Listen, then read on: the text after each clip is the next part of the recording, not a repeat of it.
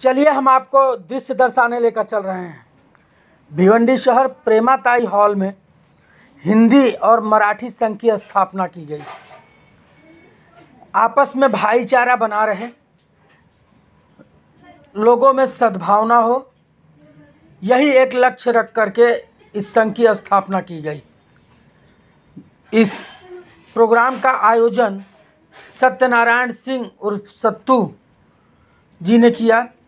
साथ ही मुख्य अतिथि रहे भिवंडी पूर्व के विधायक रूपेश मात्रे आईएस किशोर जगभिये, इसके बाद वहाँ पर आए हुए ठाकुर ग्रुप ऑफ़ कंपनी के ट्रस्टी व नगर सेवक भी हैं, सागर रमेश सिंह। इस संस्था के संस्थापक एडवोकेट ओम प्रकाश मौर्य और संयोजक एडवोकेट विवेकानंद पांडे। इन सभी ने मिल करके यह कार्यक्रम का आयोजन किया और ख़ास करके लोगों ने इसकी जमकर सराहना की, लोगों ने यह स्पष्ट किया कि आज जिस तरीके से हिंदी और मराठी संघ की स्थापना की जा रही है, सचमुच में आने वाला समय, आने वाला समाज जिस तरीके से विकास की ओर ये संघ लेके जाएगा, सचमुच में काबिल तारीफ़ रहा है। लोगों ने एडवोकेट ओम प्रकाश मौर्य और एडवोकेट विवेकानंद पांडे की इस पहल को जमकर सराहा है। लेकर चलते हैं कार्यक्रम का दृश्य दर्शाने के लिए।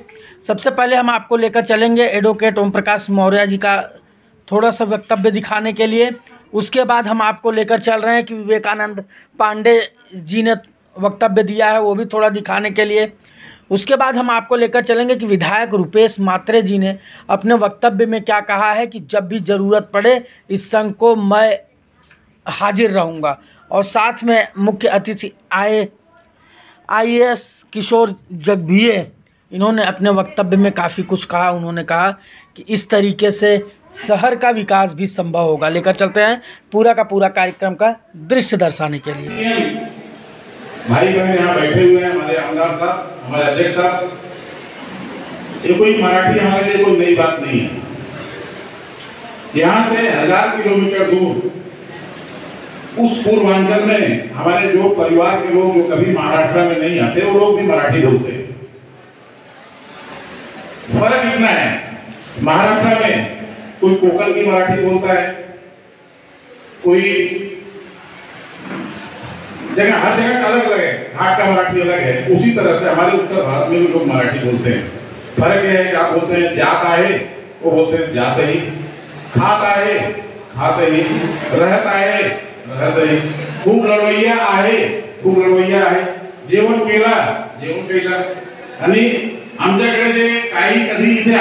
ते सीवी गाडी पण मराठीतून देतात.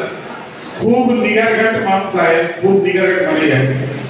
मित्रों, हमारे यहाँ भोजन से लेके सुई गाड़ी से लेके, झगड़ा से लेके जो व्यवहारिक सारी बातें हैं, उसमें हमारे यहाँ भी गाँव में भी मराठी बोली जाती है। बैठी हुई सभी भिवंडी की जनता सभी मेरा बहुत बहुत नमस्कार मेरा परिचय सभी लोगों ने दे दिया होगा। मैं मुंबई का नगर सेवक हूँ। और मैं कांदेरी की तरफ़ से माते साहब को वार्ड की हार्दिक शुभकामनाएँ देता हूँ। मुझे पता चला कि आपके कल जन्मदिन था हिंदी मराठी संघ के सभी पदाधिकारी, अध्यक्ष, उपाध्यक्ष, कोषाध्यक्ष और सभी लोगों को मेरा बहुत बहुत नमस्कार और मेरी ढेर सारी शुभकामनाएँ। बाकी सबों का नाम तो समझ जाता है? और उसके दिमाग में सिर्फ़ वही एक चीज़ होती है। फिर जब अपना स्थान करने को मुकाम पे पहुँचता है तो हमारे समाज से निकले लोग ऐसे नेता देखने को मिलते हैं, जो पहले उनको अपने समूह में लेते हैं। फिर उनको ये बताते हैं कि तुम्हारा यहाँ शोषण हो रहा है। आज दो हज़ार दो में भिवंडी आया। आमदार का परिवार मेरा पहला परिवार है, जिससे मेरे व्यक्तिगत संबंध रहे हैं। मैं घर का तब भी निवाला खाया था, हमको उस समय आज भी है मेरे मित्रों, यहाँ मेरा कोई भाई नहीं है, कोई बंधु नहीं, कोई सगा नहीं है, लेकिन भाई से बढ़कर के हमको यहाँ प्यार मिला है माँ से बढ़कर प्यार मिला। देवकी को कोई नहीं जानता लेकिन उन्होंने भगवान श्री कृष्ण को पैदा किया, लेकिन भैया जगह सब जानते हैं उनको पाला पोसा है। हम अपने मौसी के घर पे आए हमको यहाँ कोई तकलीफ़ नहीं है। हराम खोर नेताओं को बताना कि हमारे मराठी भाई हमको लड़ाएँगे उत्तेजित करते ऐसे नेताओं से हमको दूर रहना है आपका आमदार धन्यवाद चाहता हूँ। मैं, आप हमारे सबको अपना आशीर्वाद दीजिए। ये कर्तव्य जो बनी हुई है इस कर्तव्य को गिराने के लिए आप हमारा साथ दीजिए। हम अपने पूरी सामर्थ्य के आपके साथ है। हम नहीं चाहते मेरा कोई उत्तर भारतीय भाई, मेरा कोई राष्ट्रीय भाई आपस में झगड़ा करके किसी भी प्रकार के शारीरिक, सामाजिक, आर्थिक, राजनीतिक किसी प्रकार का चोट मेरे मित्रों ये मेरा कोई राजनीतिक संगठन नहीं है, और आपसे वादा करता हूँ हम लोग को राजनीति में कोई इंटरेस्ट भी नहीं है। लेकिन अपने इस समाज के लिए आपने इस समाज के लिए पूरा काम करेंगे। हमारी संस्था है, Lok Mangal properties and legal services हमारे किसी भी समाज से, चाहे हमारा महाराष्ट्रीय समाज हो, चाहे उत्तर उत्तर, हिंदी में हिंदी में हिंदू नहीं, हिंदी में है, वह व्यक्ति जो महाराष्ट्र के बाहर कहीं से भी आया हुआ है। कि हम अनेकता में एकता रखने वाला देश है। और इस देश में भाषा प्रांतों पर या किसी प्रांत में जाएँगे, हम हर दो चार किलोमीटर के बाद भाषा बदलती रहती है। मराठी यहाँ की हमारी महाराष्ट्रीय भाषा हम मानते हैं। हमारी मातृभाषा मराठी है। लेकिन हमारी राष्ट्रभाषा जो है, वो हिंदी है।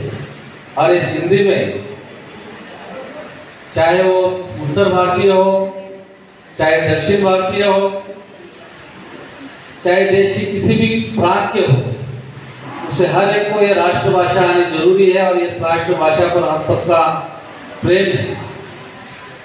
हम जहाँ पर जाते हैं, जिस विभाग में रहते हैं, जहाँ से हमारा कार्य क्षेत्र शुरू होता है, हमारे जन्मभूमि और कर्मभूमि चाहे आप लोगों की जन्मभूमि उत्तर प्रदेश हो, किसी भी बिहार हो, चाहे और किसी भी प्रांत के हो कर्मभूमि हम सबकी फ़िलहाल तो महाराष्ट्र है।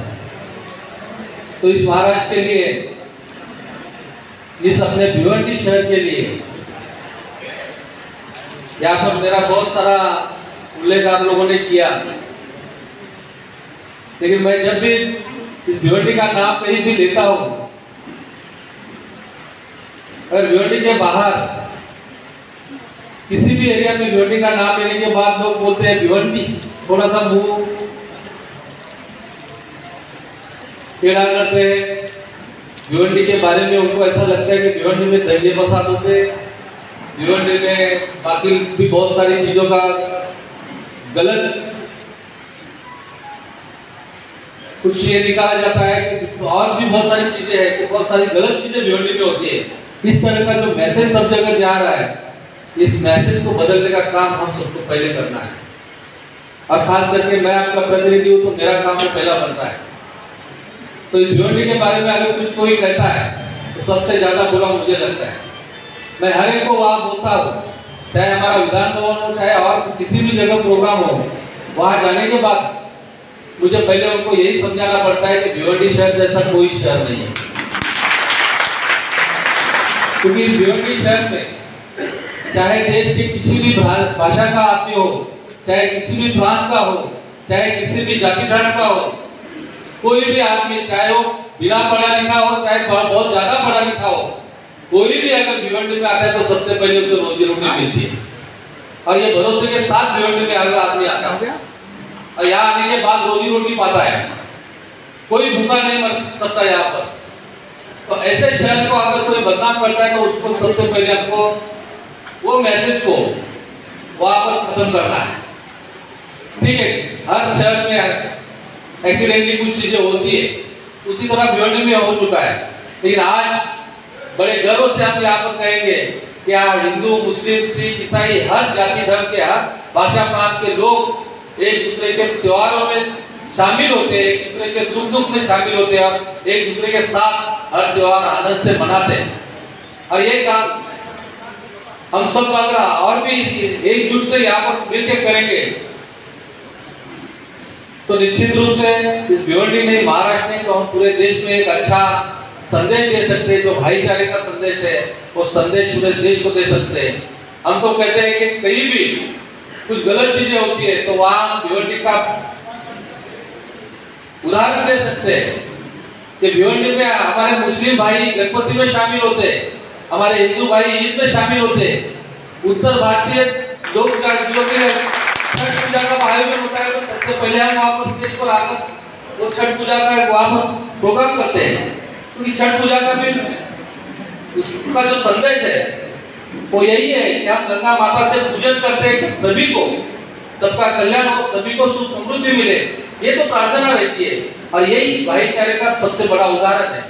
और ये करने के लिए आज हमारे बोरिया साहब है, पांडे जी है, सभी उनके सहयोगी है। इन्होंने एक अच्छा निर्णय यहाँ पर लिया है। सबसे पहले मैं उस निर्णय का यहाँ पर स्वागत करता हूँ। और इस क्षेत्र का प्रतिनिधि होने के कारण मैं आप सबको निश्चित रूप से यहाँ पर आश्वासन नहीं तो वचन दे सकता हूँ।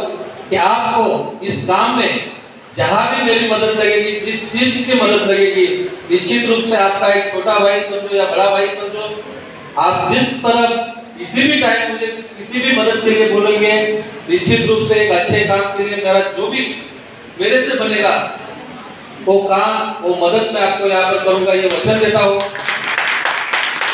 भिवंडी में आग कैसी लगती है? भिवंडी में क्या होता है? पूरी शांतता थी मतलब पुलिस वालों ने कंट्रोल कर रखा था।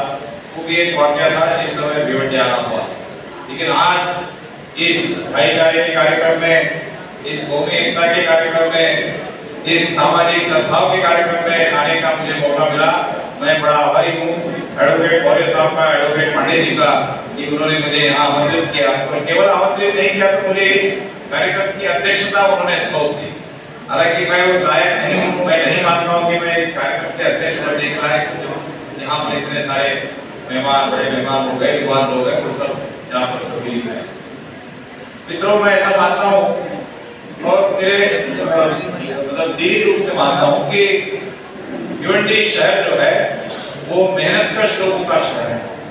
यहाँ के लोग बड़ी मेहनत करते हैं और बड़ी मेहनत करके अपने आप को उन्होंने आज तक यहाँ पर कायम रखा है। मैं इस, मैं ऐसा इसलिए बोल रहा हूँ, मैं नासिक में कलेक्टर था और नासिक में गाँव है, शहर है एक्चुअली मालेगांव तो कलेक्टर का काम होता है कि जगह जगह पर उद्योग को बढ़ावा देने के लिए इमरजेंसी बनाई जाए